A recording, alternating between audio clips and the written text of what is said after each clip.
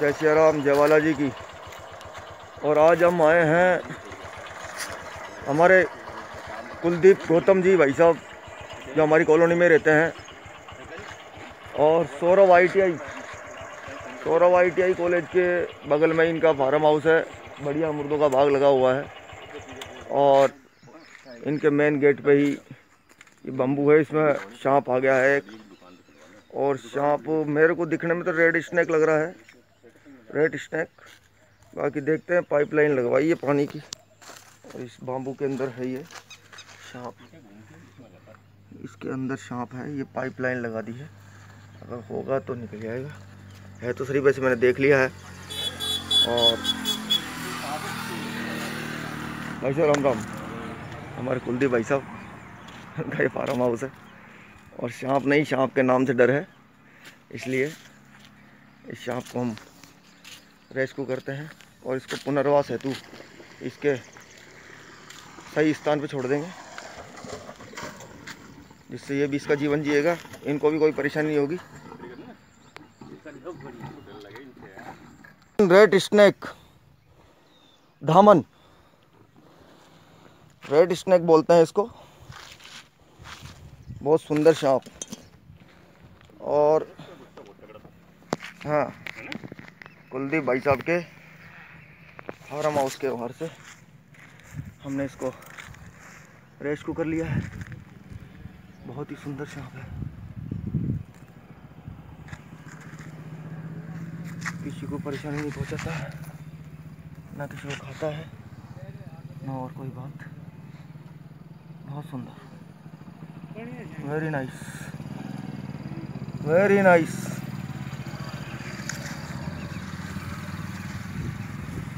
बहुत बढ़िया।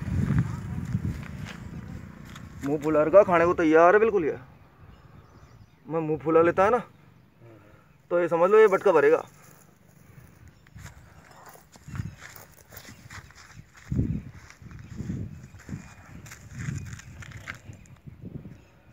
कोई कुछ कट्टा वट्टा है क्या?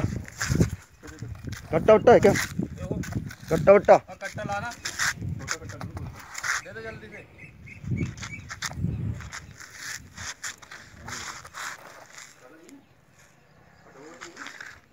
सोसाइटी मिल रहा दादा भाई?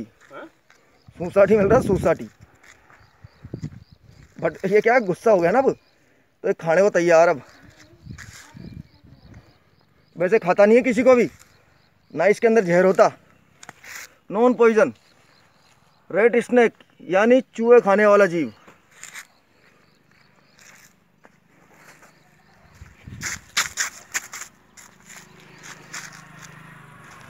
दर्शाता तो ऐसा जो खाएगा। तो ऐसा ही ये पकड़ा। फ्रेम में ले लेना। हम्म? फ्रेम में। फ्रेम में कैसे? मतलब फ्रेम में आ जाए दोनों। हाँ हाँ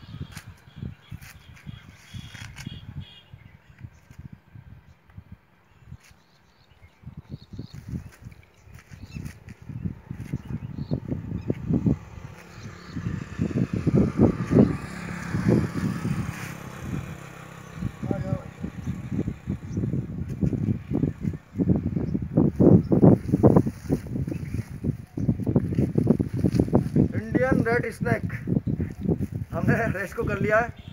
बाकी सांप नहीं सांप के नाम से डर है बहुत सीधा जीव है। और ना तो ये खाता है जल्दी से और ना ही इसमें पॉइजन होता है। कोई दिक्कत नहीं है इसमें। परंतु सांप नहीं सांप के नाम से डर है। इनके ये हाड़ी जी रहते हैं क्या नाम है इनका? पप्पू। पप्पू जी को डर था और उनका परिवार भी यहीं रहता है। रात बिरात में पैर वेर पड़ जाए कर जाए।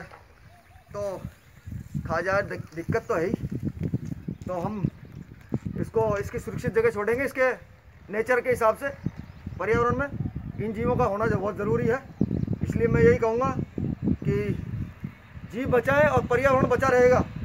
और इसी के साथ हम मिलते हैं फिर इसको रिलीजिंग में।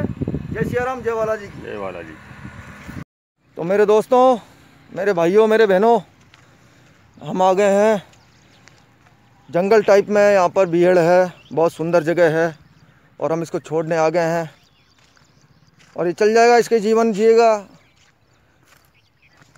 तुरंत ही हम 10 मिनट के अंतराल पे इसको छोड़ने आ गए हैं और हम परमात्मा से यही कहेंगे, दुआ यही करेंगे कि ऐसे जीव जंतुओं को बनाए रखे और ये लंबी आयु जिए तो हम इसको छोड़ देते हैं। देखिए आप भी। जाओ भाई। दादा ये ले तेरा जीवन। जा। और मिलेंगे फिर कभी। ज़िंदा रहे तो। जाओ।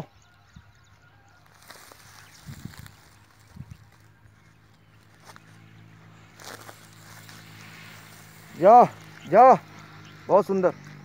बहुत सुंदर। और वो गया वो गया। रफ्तार इसकी बहुत तेज़ होती है। बहुत सुंदर। इंडियन रेड स्नैक वो गया। लंबा गया। मिनटों में ही चंपत हो जाता है।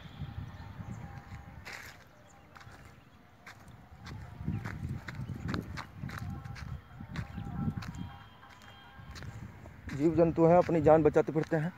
ये जा रहा है यहाँ। ये तो बहुत सुंदर, अच्छी लेंथ लंबाई भी शानदार, और गया। बहुत बढ़िया। तो हम तो यही कहेंगे, ऐसे जीव जंतुओं को बचाएँ। पर्यावरण में ऐसे जीव जंतुओं का होना बहुत ज़रूरी है। और ये जीव जंतु रहेंगे तो हमारा पर्यावरण शुद्ध रहेगा। तो मेरे भाइयों, मिलते हैं फिर किसी नेक्स्ट वीडियो में। किसी जीव जंतुओं की जान बचाते हुए, किसी नाग की, सांप की रेप्टाइल की, किसी गोर्रे की। और उन परिवारों का भय दूर करते हुए, उनका डर दूर करते हुए, जिनके बीच में ये भूले भटके आ जाते हैं। तो हम तो यही कहेंगे कि ऐसे जीव जंतु को बचाएँ और हम एक ही मकसद पे काम करते हैं कि जियो और जीने दो। इससे बड़ी कोई बात नहीं हो सकती और दुनिया में शांति का पैगाम भी यही होना चाहिए। तो इसी के साथ जय सिया राम, जय बालाजी की, जय हिंद, जय भारत। और गर्व से बोलेंगे, वंदे मातरम, जय सिया राम।